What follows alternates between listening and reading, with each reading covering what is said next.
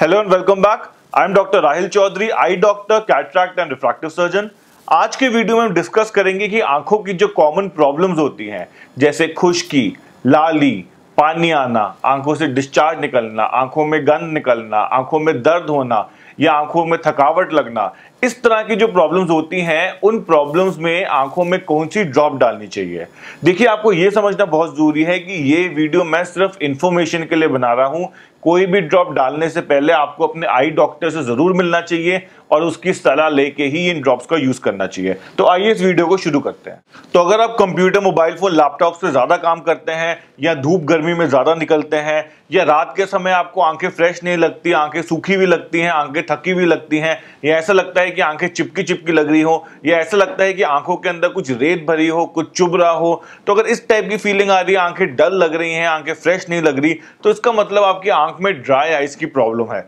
उसके लिए आप एक अच्छा लुब्रिकेटिंग ड्रॉप यूज़ कर सकते हैं। कुछ लुब्रिकेटिंग ड्रॉप जैसे इकोफैब हो गया टेरा लूब हो गया एक्वा लूब हो गया इको टीयर्स हो गया refresh liquid gel refresh tears हो गए, आपका सिस्टेन हो गया ऑप्शन एचए हो गया इको मॉइस्ट हो गया। इस तरह के जो हैं लुब्रिकेटिंग ड्रॉप्स आजकल मार्केट में अवेलेबल हैं। इनको दिन में आप चार से पाँच बार डाल सकते हैं और आप बहुत कंफर्टेबल हो जाएँगे। अगर फिर भी दिक्कत परसिस्ट कर रही है, आपको फिर भी काफ़ी दिक्कत लग रही है तो कुछ तरह के लुब्रिकेटिंग जेल्स भी आजकल अवेलेबल हैं, जैसे जेंटिल जेल हो गया या आई मिस जेल हो गया। इस तरह के जेल आप सोने से पहले डाल सकते हैं, जो आपको काफ़ी फ़ायदा देगा। अगर फिर भी प्रॉब्लम ठीक नहीं हो रही तो ओमेगा थ्री फैटी एसिड्स के कैप्सूल्स भी खा सकते हैं। वो भी ड्राई आई में बहुत मदद करता है। तो अगर आपको खुजली, पानी या लाली की समस्या हो रही है, या अगर आप सुबह उठते हैं तो आँखें लाल हो रही होती हैं, नहाने के बाद आँखें लाल हो जाती हैं, या फिर सुबह हैंगओवर में उठते हैं तो आँखें लाल या फ्रेश नहीं लगती, या आँखों में खुजली लगती है, पानी निकलता रहता है तो उसके लिए आप इनमें से कोई ड्रॉप यूज़ कर सकते हैं। आईकूल हो गई,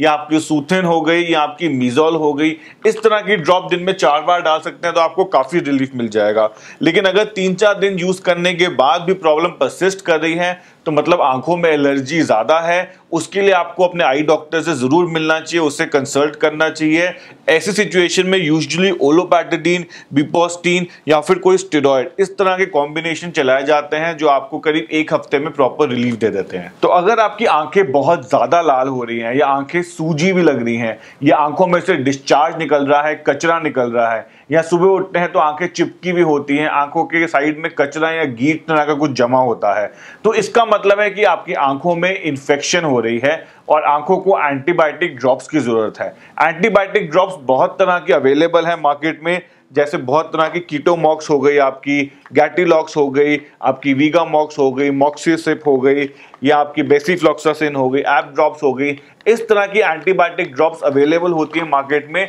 लेकिन ये ड्रॉप्स अपने आई डॉक्टर से पूछ के ही डालनी चाहिए, जो एक बार आपको प्रॉपरली चेक करे कि आँख में कितनी इन्फेक्शन है, उसके हिसाब से आपकी एंटीबायोटिक ड्रॉप्स की डोज आपको बताए। देखिए कभी कभी क्या होता है कि अगर आँख में कुछ गिर जाए, जैसे आँख में कुछ मच्छर गिर गया, या आँख में कुछ पार्टिकल चला गया, या मिट्टी गिर गई, अगर आँखों को वॉश करने की ज़रूरत पड़ती है। तो इस तरह की सिचुएशन में वॉश करने के बाद एंटीबायोटिक ड्रॉप्स डालना बहुत ज़रूरी होता है ताकि इन्फेक्शन ना हो। अगर आपको किसी नाखून से चोट लग गई, या जानवर के नाखून से, जानवर की पूंछ से, या किसी के सींग से, या पत्ती से चोट लग गई, अगर इस तरह की सिचुएशन आँख में होती है कि आँख छिल जाए या जैसे गन्ने के छिलके से छिल जाती है आँख कभी कभी तो ऐसी सिचुएशन में एंटी फंगल ड्रॉप्स का यूज़ करना भी बहुत ज़रूरी है, क्योंकि अगर आप यूज़ नहीं करेंगे उनको तो आँखों में फंगल अल्सर बनने की प्रॉब्लम हो सकती है। अगर आपके सिर में डैंड्रफ है,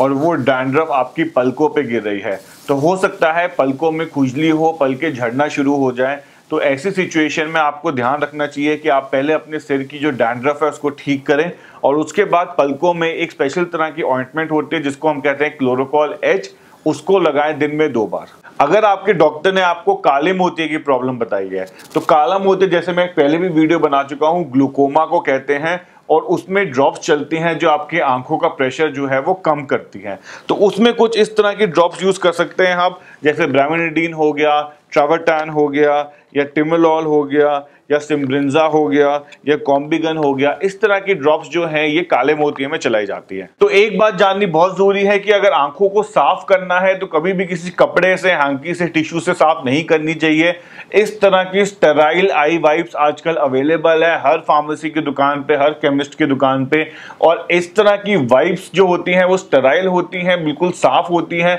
तो इसी तरह की वाइप से आँखों को साफ़ करना चाहिए, ताकि आँखों में और कोई इंफेक्शन ना हो। तो कॉमनली यही ड्रॉप्स यूज़ करी जाती हैं आई में, लेकिन मैं फिर से आपसे कह रहा हूँ कि अगर आँख में कोई भी प्रॉब्लम हो तो खुद ये ड्रॉप्स खरीद के ना डालें। हमेशा अपने आई डॉक्टर से पहले डिस्कस करिए, क्योंकि इन ड्रॉप्स का साइड इफ़ेक्ट भी हो सकता है। तो एक डॉक्टर ही है, आई डॉक्टर जो आपको प्रॉपरली गाइड कर सकता है कि कौन सी ड्रॉप कब किस तरह से यूज़ करनी चाहिए। तो उम्मीद करता हूँ आपको ये वीडियो पसंद आया होगा और काफ़ी नॉलेज मिली होंगी कि आँखों के लिए क्या क्या दवाइयाँ अवेलेबल हैं। तब तक के लिए thank you very much for watching this video and I be back soon